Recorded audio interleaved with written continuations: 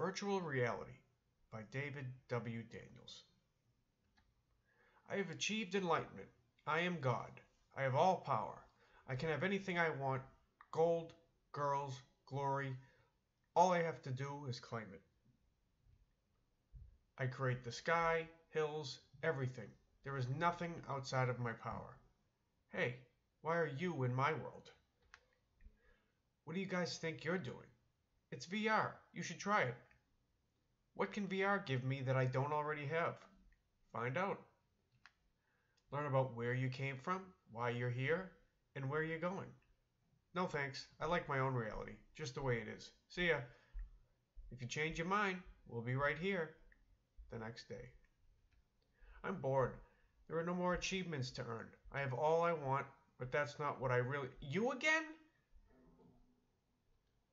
Why don't you guys just go away? Try the goggles. Come on. What do you have to lose? Yeah, maybe it'll be fun. Great Scott! Where am I? The Lord God made the earth and the heavens. Cool. I get a narrator. The first humans tried to be as gods, but their rebellion cost them paradise. Nice sword. So their children made their own gods. Let me release you from this tree, so I can worship you, Father Cypress. What a nutcase. Professing themselves to be wise, they did wicked things to please their fake gods. A bit obsessive. Their hearts became totally evil. Finally, God had enough. God judged the whole world with a flood. Come with me if you want to live. Noah's a crazy ark building conspiracy nut. He can't even close that huge slam and the Lord shut him in.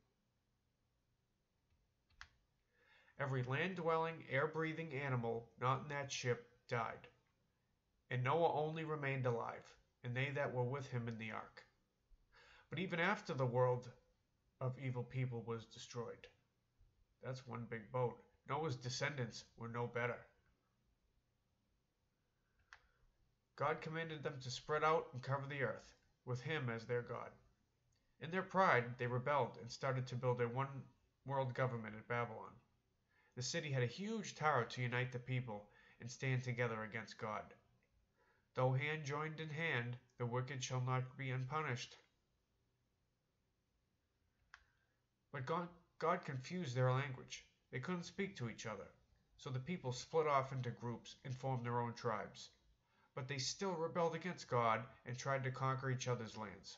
Oof, stop shooting at each other. Can't you see me up here? Somebody had to pay for these crimes. But who? And how? That's why I came to Earth, to do what no man could do. Yikes! You can see me? Of course, Kent. I can see everyone. Ugh, this is no fun.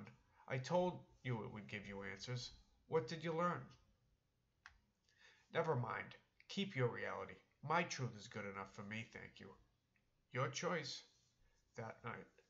Yeah. How did you get here?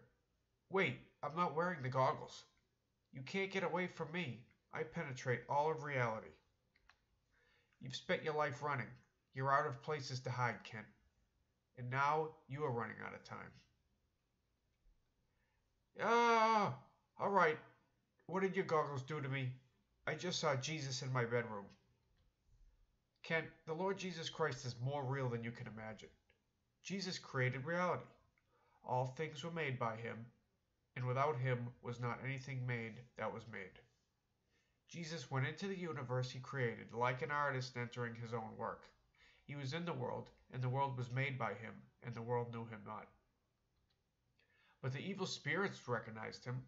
I know thee who thou art, the Holy One of God, and they had to obey him. The Bible says Jesus came to take away our sins, and in him is no sin. So Jesus made the ultimate sacrifice. Jesus paid in full for our sins. It is finished. For God so loved the world that he gave his only begotten Son, that whosoever believeth in him should not perish, but have everlasting life. Admit you're a sinner, trust Jesus' shed blood, and ask him to forgive you. I will, Jesus. You're God, not me. I believe you died for me. Kent awakens from his coma. He's awake, praise God. Jesus, please forgive me. I accept your reality over my own. Doctor, thank you for showing me Jesus. Huh? I never told anyone I'm a Christian. Thank you, God, for giving me a second chance in real life.